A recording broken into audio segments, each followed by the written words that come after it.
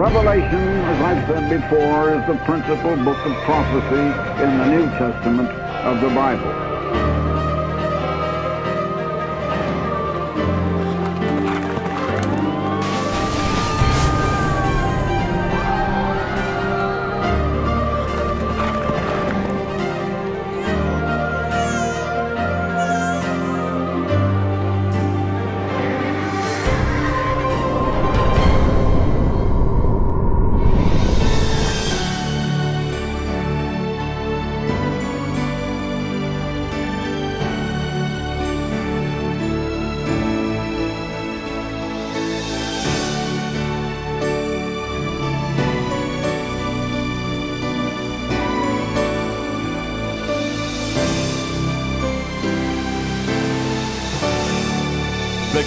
David with Gerald Flurry. Greetings, everyone. Many authorities tell us that America is going the way of ancient Rome, but I can tell you that it's even worse than that.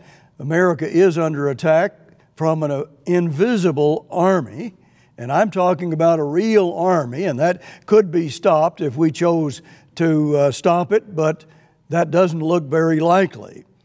Now, there, for nearly two decades, this country, America, has been under a direct attack from an invisible army in a special way. Now, that may sound a little strange to some people, but it, it honestly, it, it's only strange if we don't know what's in our Bibles. It all is explained very clearly, very explicitly in your own Bible. The, in the British coronation ceremony, they talk about the Bible being the greatest gift that this earth affords. Now, most people today, of course, would scoff at that. Almost nobody looks upon the Bible that way today, but that's the way God looks at it. And that's the way it ought to be with all of us. You can prove all of this to yourself I'm not asking you to believe anything that you cannot prove. And you, as an individual, can escape suffering that's coming upon America if you choose to do so, because God says if we heed what He says, He will honor that and He will protect us. That's a promise from God. God always warns His people, He always does that. And because God is love and everything God does is out of love. How hard that is for man to see. Even the suffering that comes upon us is coming upon us because of God's love to teach us and to help us get to know God because we do not know Him today. We simply don't know God, and America is under attack because of that. And we need to understand why. I want to read you something that Herbert W. Armstrong wrote way back in 1956, which is not exactly what I'm talking about, but it gives you an insight into the kind of warfare that's going on against America. Notice what Mr. Armstrong wrote in 1956, and I'll just quote it to you. A psychological warfare of propaganda, infiltration, subversion, demoralization that is coming upon America, he said. Uh, that is the goal of the communists. Uh, at least he certainly believed that at the time, and so do I. But they were inflicting that kind of warfare. He continues by saying it is a warfare that has attacked our minds and moral and spiritual values rather than our bodies and our earthly possessions. He said it's a kind of warfare we don't understand or know how to cope with. It uses every diabolical means to weaken us from within, sapping our strength, perverting our morals, sabotaging our educational system, wrecking our social structure, destroying our spiritual and religious life, weakening our industrial and economic power, demoralizing our armed forces, and finally, after such infiltration, overthrowing our government by force and violence.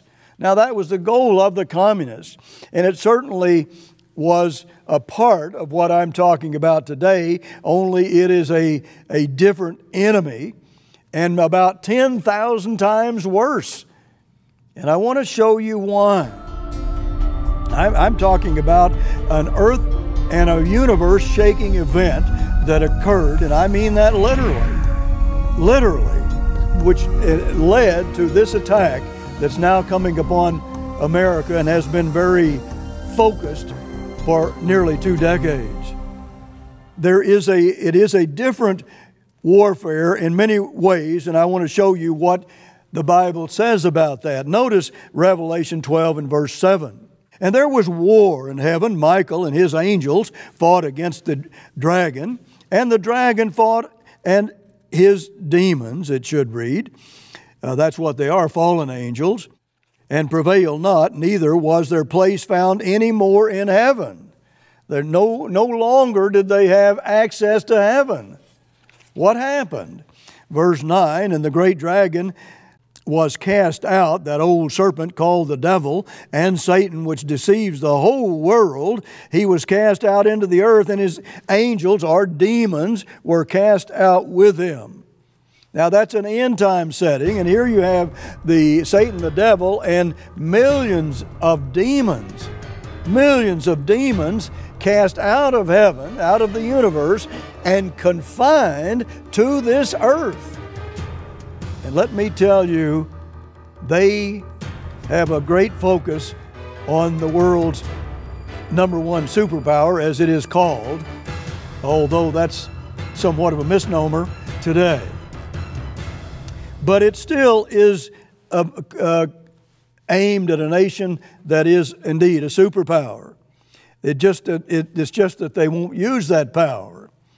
So if this army that we're talking about here fought God and left the universe scarred, all the planets scarred just about. If he fought God, well, he's not going to be afraid to fight little puny man. And he has an army. Satan has an army of millions of demons, and he is confined to this earth. And he has two priorities, and that is to destroy spiritual Israel, which he already has done, 95% of them, and then the nations of Israel, and one in particular, which is the superpower and really represents the others in many ways. Satan is not afraid to fight because he knows he has nothing to lose. Now, I have a, written a booklet that's almost new. I think I've offered it a couple of times on television, but it explains all this in stark detail where you can understand what is happening in America. Many people look at what's happening and say, well, they've never seen anything happen like this in America before. They've never seen it. Well, it's never been there before. I'm telling you, it hasn't ever been there before. This is something very different. And the only way we're ever going to understand it is to understand our Bibles. The greatest gift afforded by this earth. Indeed, it is. If we understand it. But if we don't understand it, well, it's not of any value. It's not of any value at all. But all you have to do is study this booklet and you'll understand what I'm talking about uh, in I mean in detail and I hope I can explain uh, quite a lot of that to you today. But Satan has been uh, cast down. This is an end time prophecy. But when did that happen? Now, really, let's be honest here, because if you're talking about Satan and millions of demons and they were cast to this earth and are now confined to this earth, somebody had to know when it happened. The very elect of God had to know because they were victims of it. They had to know when that happened. You can't have something like that happen and not be aware of it. If you're aware of of what's happening spiritually in this world. You cannot. Notice verse 12. Therefore rejoice, you heavens, and you that dwell in them. Woe to the inhabitants of the earth and of the sea, even of the sea. You see, because it's so bad. For the devil has come down unto you, having great wrath, because he knows that he has but a short time. See, eh, they're, they're rejoicing in heaven because they, they're kicked out forever. But Satan is making one final stand here on this earth before God casts him into outer darkness forever. And then there will be peace brought to this earth like it never has even dreamed of. And it's, that's coming, and I'm talking about in just a tiny few years. It's coming. But you see, this, this is talking about a short time. Well, uh, uh, why does Satan know he has a short time?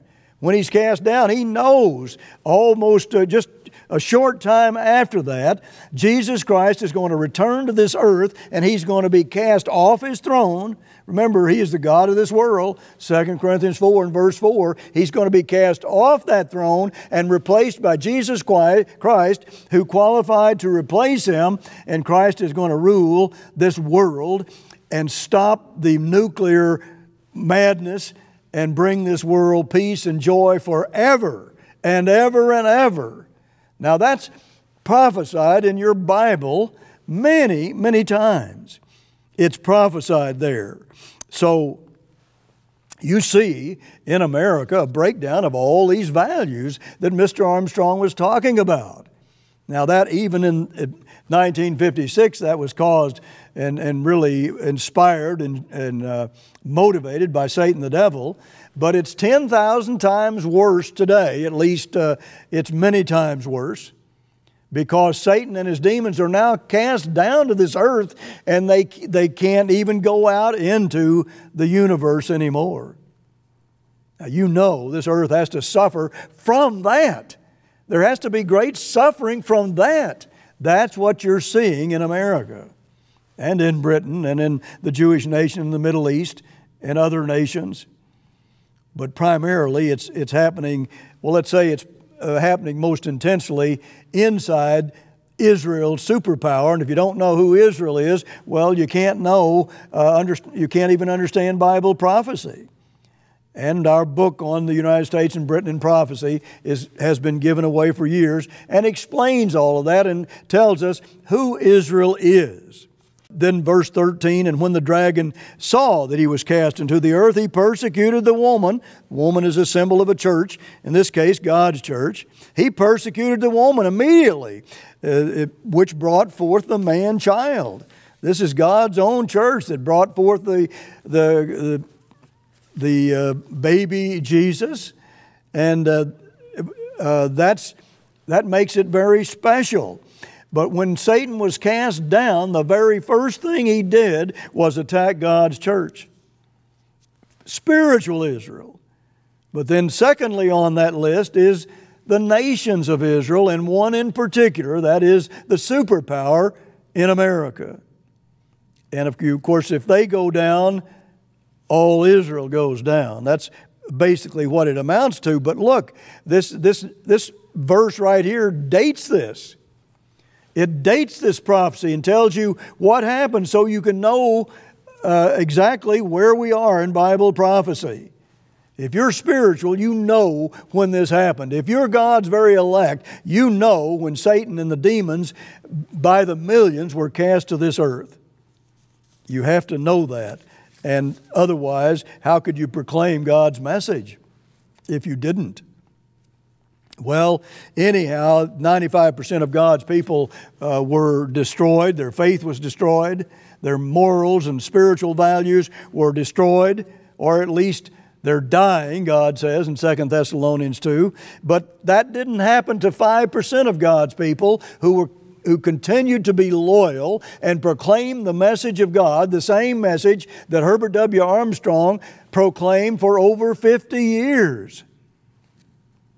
Now, it's talking about the destruction of a, a, nation and nations after a church has been destroyed.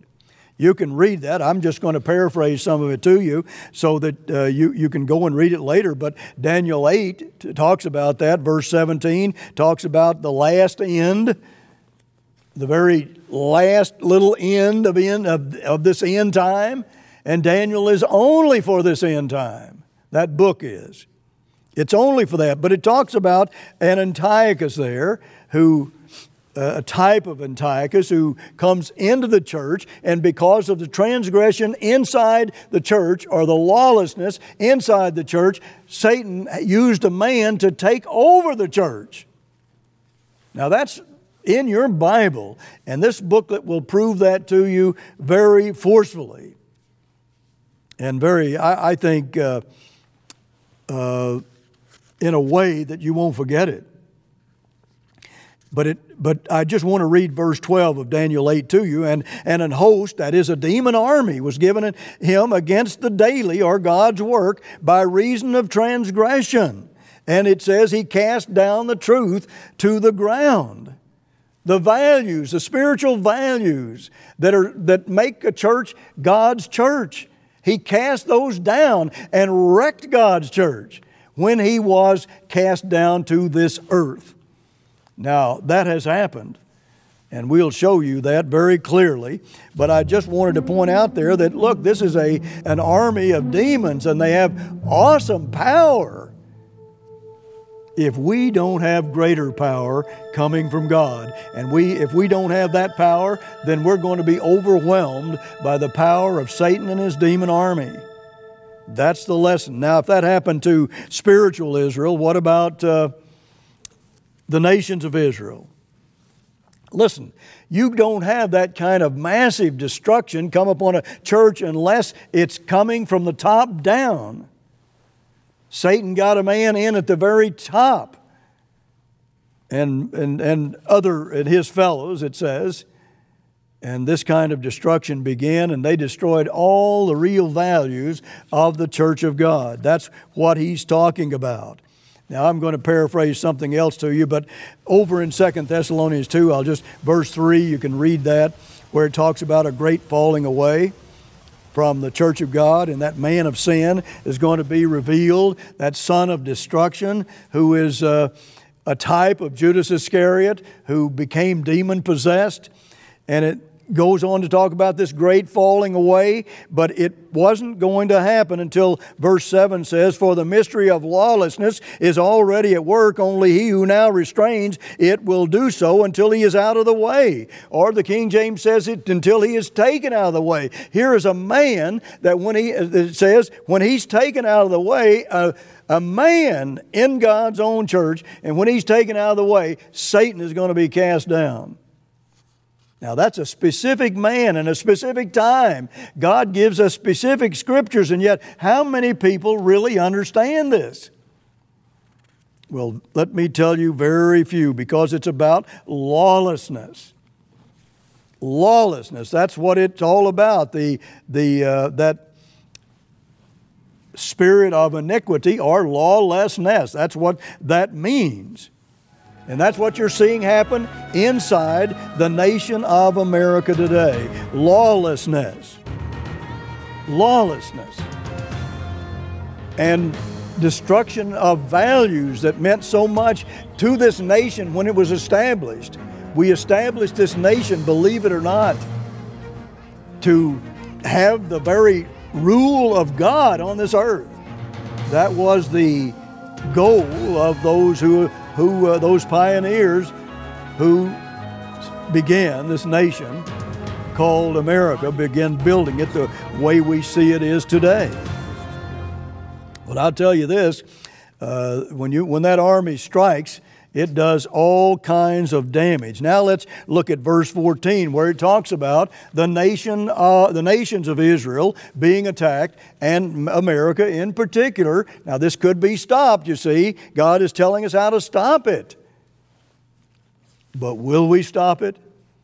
I don't see any signs of that, do you? But any individual can stop it in his own life and be protected by God. Notice verse 14, God promises this and to the woman or the church of God, the very elect here were given two wings of a great eagle that she might fly into the wilderness, into her place, where she is nourished for a time and times and half a time from the face of the serpent. First of all, I want you to see that God protects His people that are loyal to Him and then get His message out to the world. That God is real, God is alive.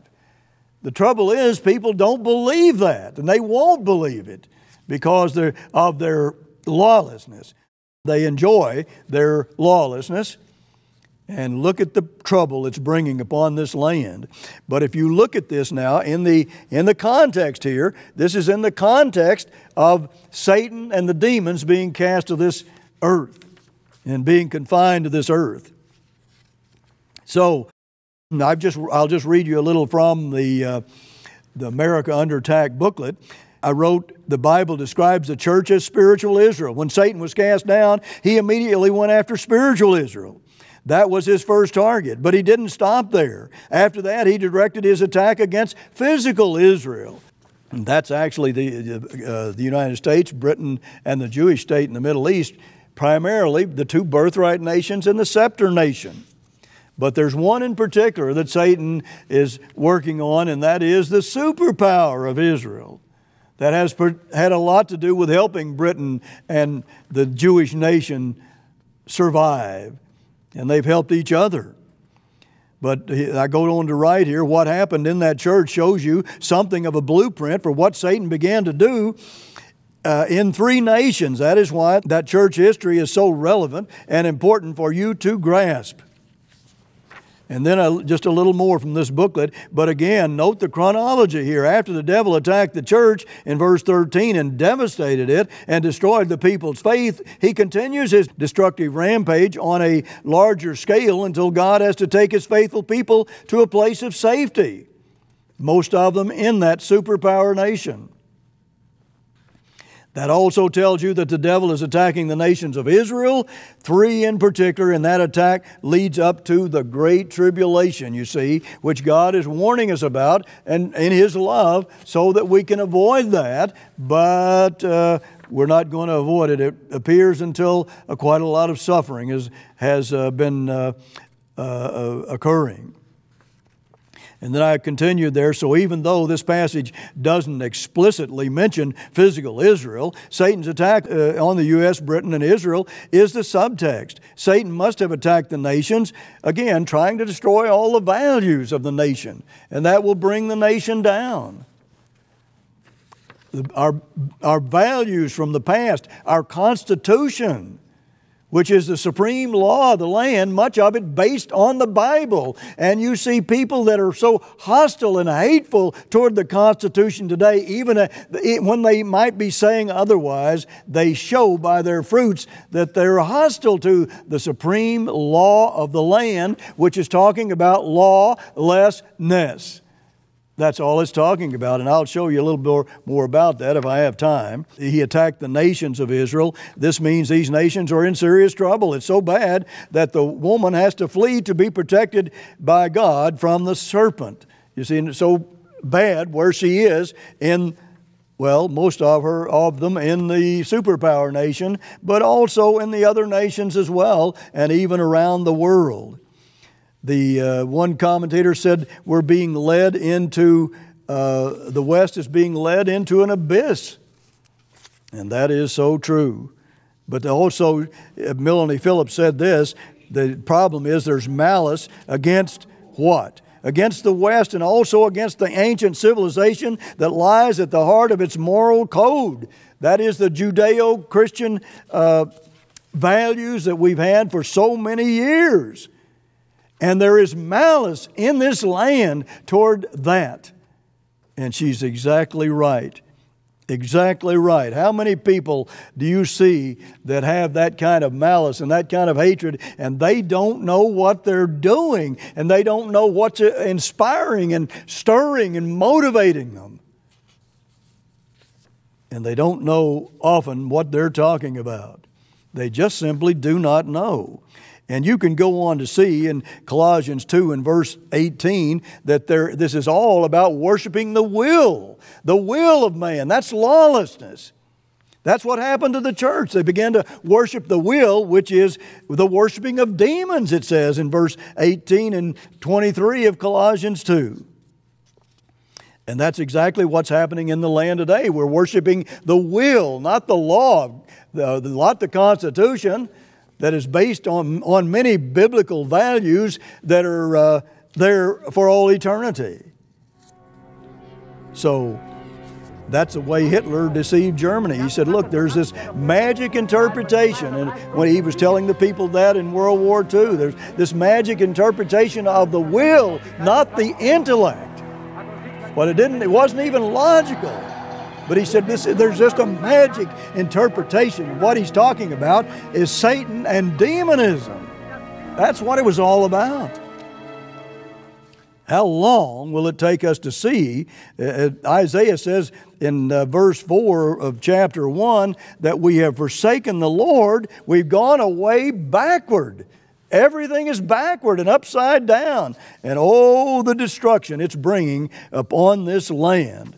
You see, it's not some radical group, group's fault, they're just leading the way the radicals and those who are lawless. They're just leading the way, but the fault is in the American people. They're not living according to God's way of life. They've forsaken Him. They're turning away backward and getting rid of the values that make any nation strong and destroy any nation that continues to practice such lawlessness. You see, it's only God that can save America or any other nation. That's what we have to understand. Until next week, this is Gerald Flurry. Goodbye, friends. Experts are realizing that America is facing the same situation as ancient Rome. That empire deteriorated from within and then fell. But the fact that history repeats itself is not the entire reason for America's decline. Our free booklet, America Under Attack, reveals how the United States has been targeted by an evil spiritual force. It shows that because of sin, Satan the devil and his demons have been able to gradually destroy America. You need to read this eye opening booklet and prove whether or not it is true from your Bible. Request America Under Attack also request our Philadelphia Trumpet reprint article, Satan Cast Down. God the Father delivered a prophecy through Jesus Christ to the Apostle John, who wrote that Satan would be cast down to the earth. This article shows you that God's prophecy has come to pass just as he said it would. For America Under Attack, the Philadelphia Trumpet, and Satan Cast Down, visit thetrumpet.com today. On thetrumpet.com, you can view, download, or request your own personal copies of literature or call our toll free number